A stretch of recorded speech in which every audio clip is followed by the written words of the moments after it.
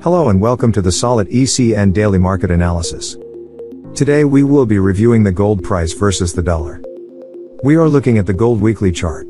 The metal has been losing value against the dollar since June 21st. Zooming in, the June higher high formed a declining line with the March higher low.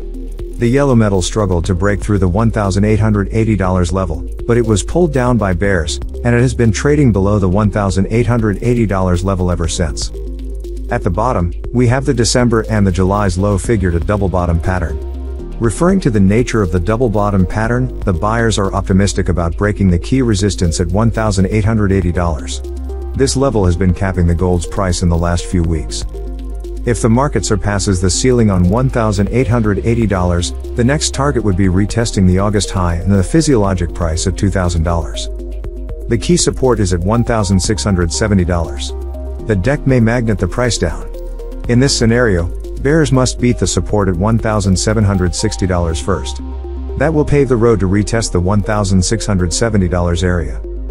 For day-to-day trading, solid ECN analytics shows that buyers are targeting $1,860 with the risk of hitting the $1,770, and sellers target $1,670 with the risk of stopping at $1,880. Solid ECN wishes your success on your trades. Disclosure, please note that foreign exchange and other leverage trading involve a significant risk of loss. It is not fit for all investors and you should make sure you realize the risks involved, seeking independent advice if necessary. Thank you for watching.